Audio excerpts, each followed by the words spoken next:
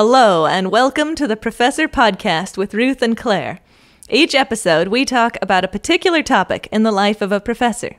Ruth is a visiting professor at a large university in Ireland, and Claire is an associate professor at a primarily undergraduate university in Northern California. The purpose of our podcast is reflection, so we bring something we think is working and something we're working on to discuss. Welcome to the Professor Podcast with Ruth and Claire. I'm Ruth. And I'm Claire, and today we're talking about going from participant to organizer. But first, Ruth, how was your week? My week was great. I am I'm so excited about this weekend because Ooh. yeah, my foster sister got me a like we're going to a weaving workshop like all day Saturday and all day Sunday. Wow, that sounds so fun. I know. So I just I, I've kind of lost like somehow in the stress pandemic moving I kind of lost my knitting mojo a little bit like Oh, your knitting mojo. I know, and like I used to, like there was such a rare day that I didn't knit, and now it can go like months, and then I'll kind of pick up the needles and be like, oh, I love this, this is great, and then it'll sort of go again. So Yeah. I, yeah, I just haven't like engaged with that stuff that much, and I'm hoping. Yeah, I'm very excited, and it just feels like absolute luxury, like to go and do this thing. So I'm How wonderful. very excited. And I want to tell you one other thing, which isn't that mind blowing to probably everyone else in the world, but to me it was, where my girls like they've needed new shoes, like sneakers, for ages, Uh huh. and I keep trying to measure their feet and trying to look at stuff online. And I've bought shoes online before, and they've always been the wrong size, and I just always. Never like it's just always bad. So I was Yeah. looking at shoes online, and my colleague was like, "Do you know there's a shop in your neighborhood that actually sells those?" And I was like, "What?" Like Mm. I don't know why that hadn't occurred to me, but I went to the shop and it was so great. They just measured their Ah. feet. And the thing that really blew my mind was the shoes were cheaper in the little shop than they were online, which always, I always assume it's going to be the other way. So it's reminded me that sometimes it's just worth finding an actual brick and mortar shop and going into it.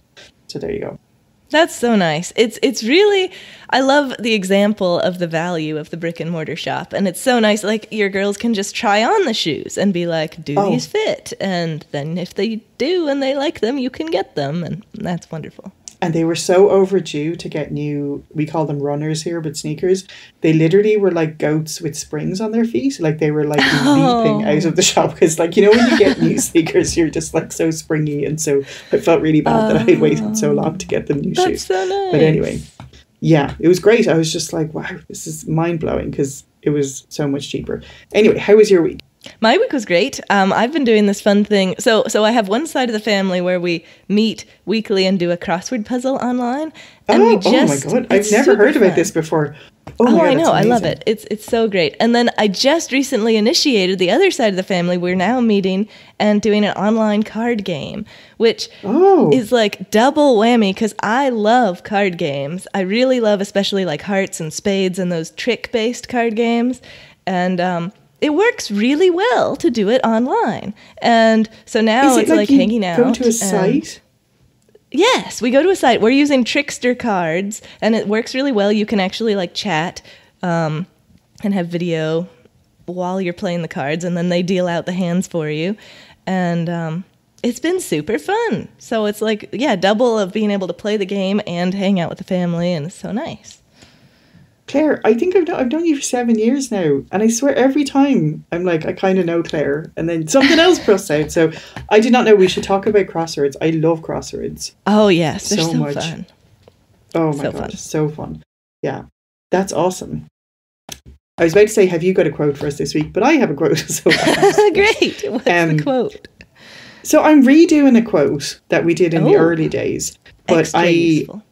extra yeah. Well, right now it's very Irish season because it's around St. Patrick's Day and it's kind of like this whole month here about like a lot to do with Irish culture and stuff. So anyway, I'm coming back to Maeve Binchy because as I think everybody knows on here, I'm obsessed with her.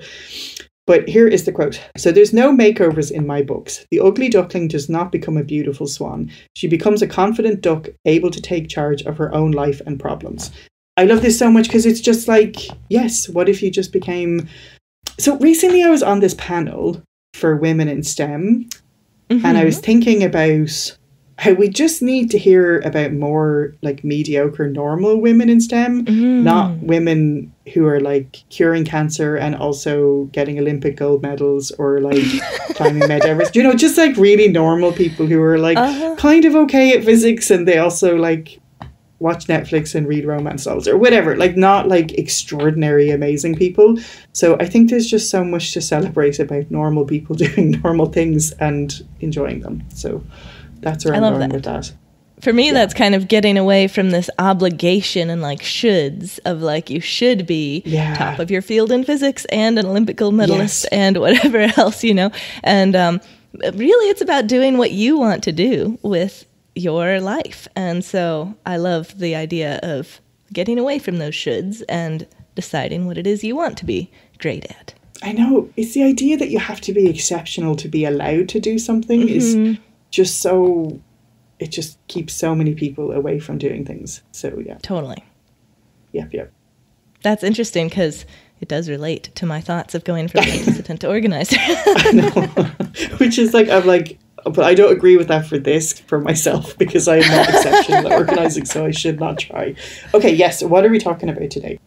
So we're talking about. I think you and I are both in a scenario where we're doing uh, planning a big thing, and in the past we have been involved with planning similar things, but in a different role. And um, Yes. so we're both kind of thinking about being in this more organizer, thinking about different details than we might have thought about in the past kind of role, and how that affects our planning and just just the I, I mean i'm just interested to realize there is this whole different role that i'm now in so um anyway yeah what do you have anything to add No, totally. Should we say what we're wor- what's the big project we're working on? Yes, Because they're quite different, They but I think they're similar in some ways. Mm-hmm. Yeah. So I guess in my new role, I think I've mentioned on here there is more events happening, Mm-hmm. and most of the events I've been involved with so far have been not small but not huge, and then someone else was really the person in charge, Mm-hmm. and then we're now having this like five day event that's going to Mm-hmm. have like 600 students coming through um Mm-hmm. it's we're calling it Maths Fest. I didn't mean for that to end up being the solidified title, but anyway, that's now I've told too many people, so I can't back. That's what it's called. Classic. But um, yes, totally. And what about you? What is the thing you're involved with? Yeah, so for me, it's research cruises. And so I've been involved with Cool. research cruises in the past, but it's kind of gone from, you know, my first research cruise, I was really making sure I had everything to do my research and, you know, backups of mm-hmm. everything. And then, you know, a little bit later, I had to have the stuff for my research, but also the stuff, you know, I'm, I'm collaborating with some other people and making sure that I understand what I need to have for their work too.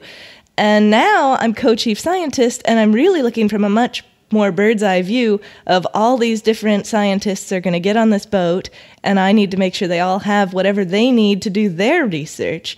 And then I also need whatever I need to do my research. So it's really just a different um, level of thinking and different different way of seeing and preparing for the cruise and making sure that I've done all the things I can do to make it run smoothly. And so now the stuff of bringing what I need to do my research is actually really easy. It feels really easy because I've done that before, but thinking about what other people might need and preparing for that feels really new and um, like a different challenge that I haven't thought about before. I don't want to stress you out, but all I keep thinking is like, but your thing's at sea. Like you're actually in a boat in the ocean. Like maybe I need to every time I'm feeling stressed, I'm like, well, I'm not in the ocean. So I'm sorry, that's really unhelpful to you. And I know you have the experience, but I'm just like, oh, yeah. I understand. That's why we have backups for backups because you can't go to Home Depot when you are at sea. um, so, what's working for you with switching roles and getting to this more organizer kind of role?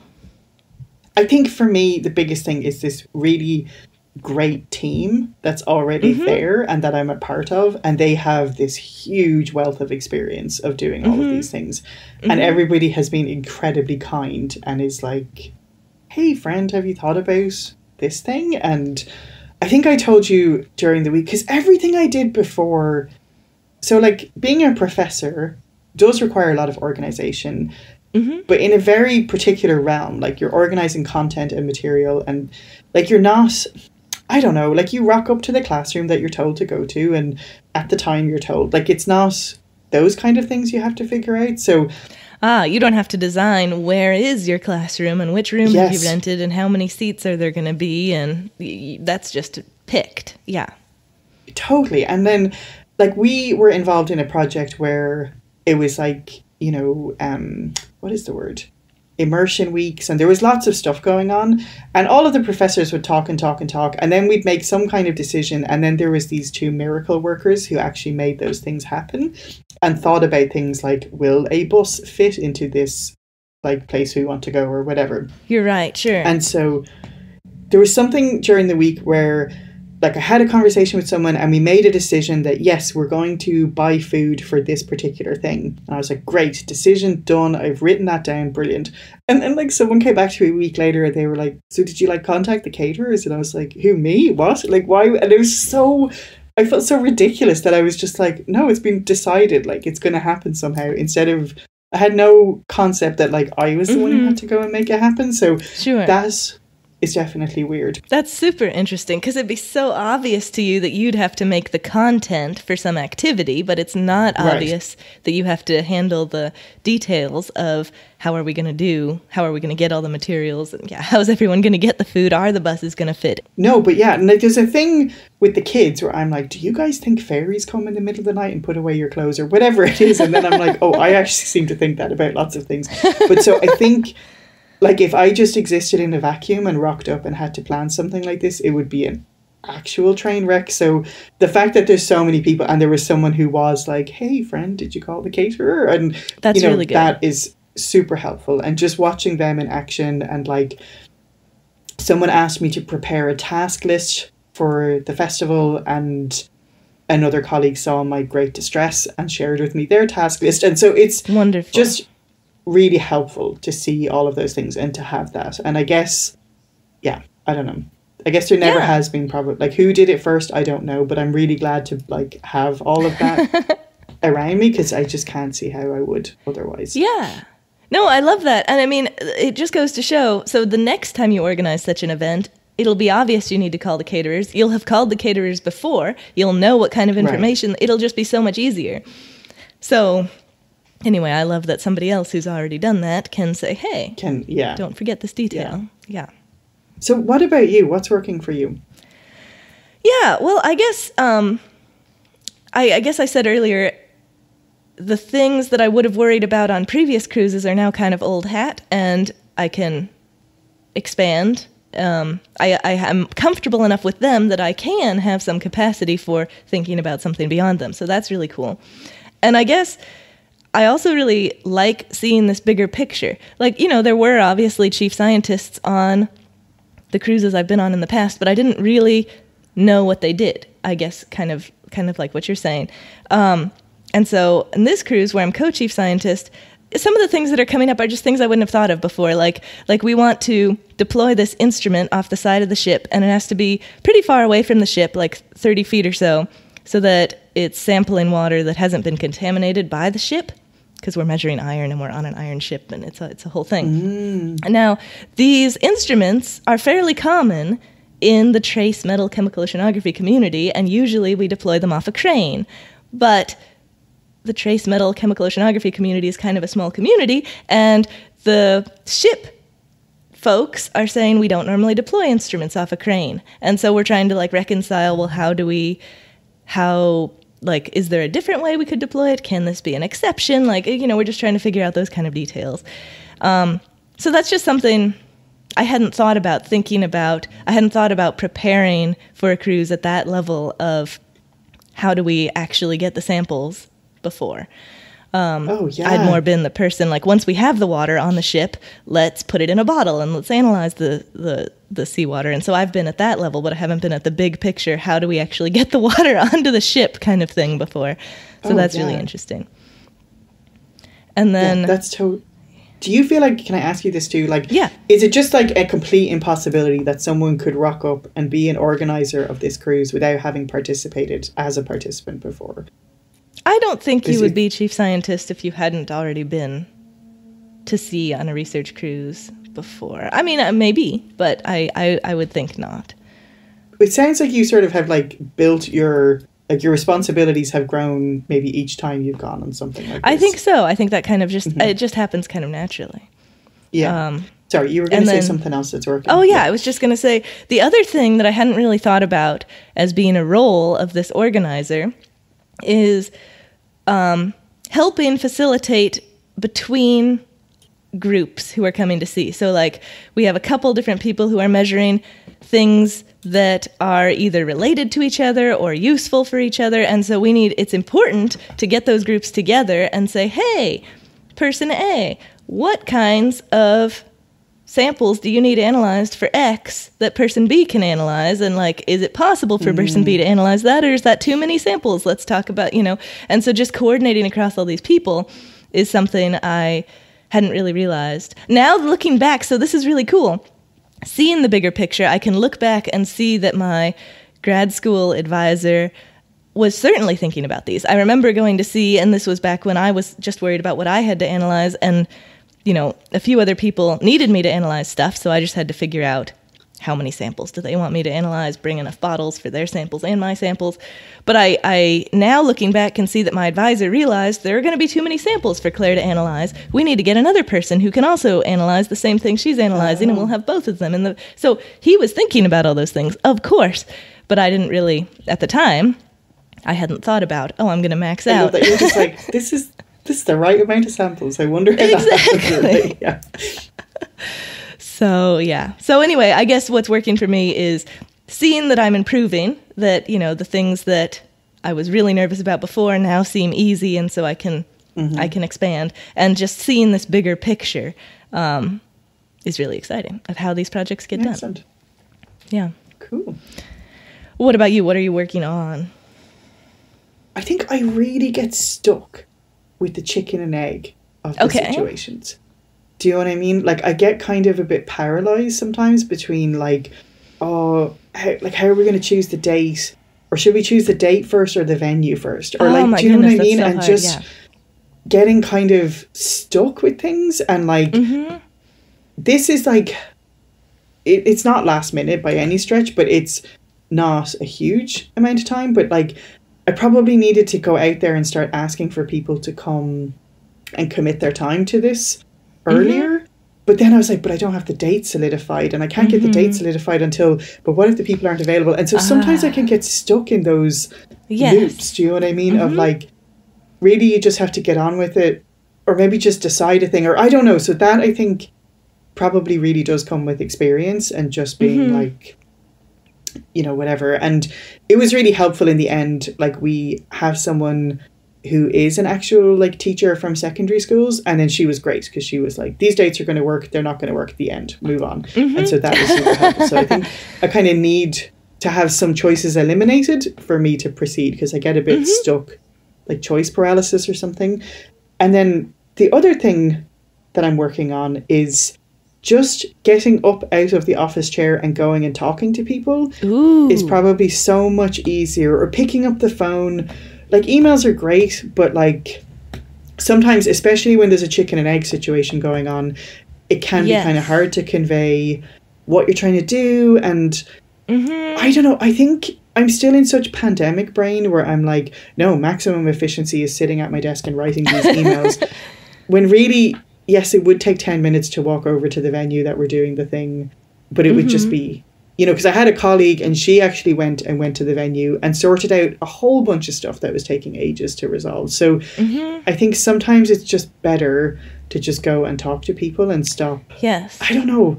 I get so stuck in sort of planning preparation stages or i don't know. Yeah. No, And it totally. I know what you mean. It's actually coming back to the go to the shoe shop thing, where it's like, actually, Yes. this is more efficient and more fun and more productive and yes gets us the Oh, thing we want. Yes, totally. And it seems like you're somehow saving all of this time and energy by doing stuff from home. hmm And it's really not. So, yes, I hadn't actually made that connection, but that's exactly it. That's really interesting. And I know what you mean. Like sometimes, I mean, I, I guess I've had analogous things with the, the research crews, but yeah, you, you, there's five different options and they're all fine. We just need to decide between them. But it's really hard to convey that in an email. Yes. If you were on the phone with somebody, you could say, can we eliminate any of these options? Are any of them better for you? But if you're in an email, you're like, we could do it this way, could do it this way. It just feels really wishy washy. They're like, I don't know. How do I decide? To, how do I respond to that? Um, yeah, it's really hard to move Oh, forward 100%. without that actual So- communication. I like that. What are you working on?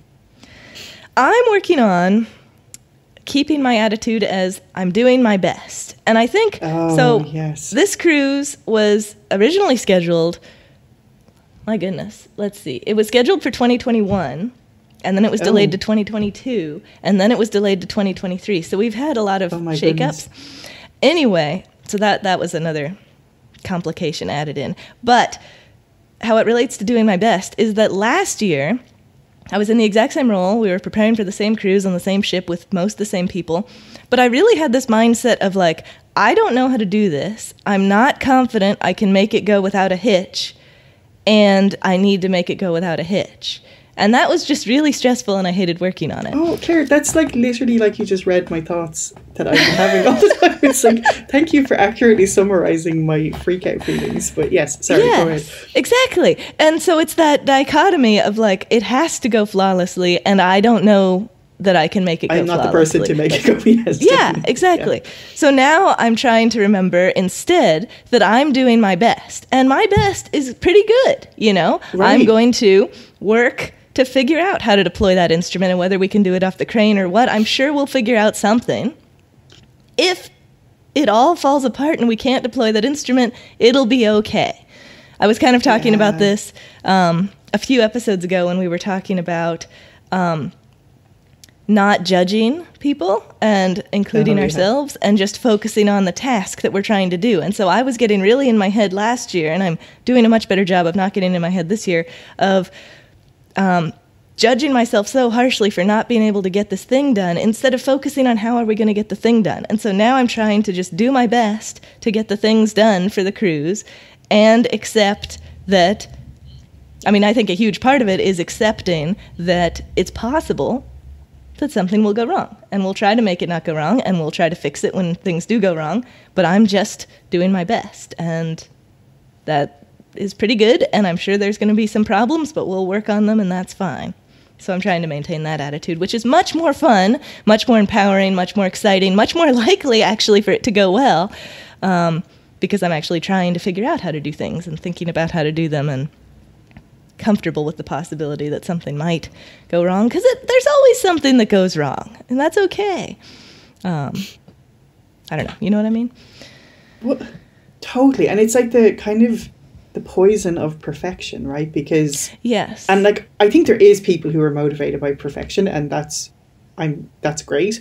But for me it just becomes like I can't do this. Like there's no way I can do this so I won't even I can't I just can't engage with it. But you're right, when mm-hmm. you're because I've actually had like my boss was like, This doesn't have to go perfectly. Do you know what I mean? It's fine. And he's sort of like mm-hmm.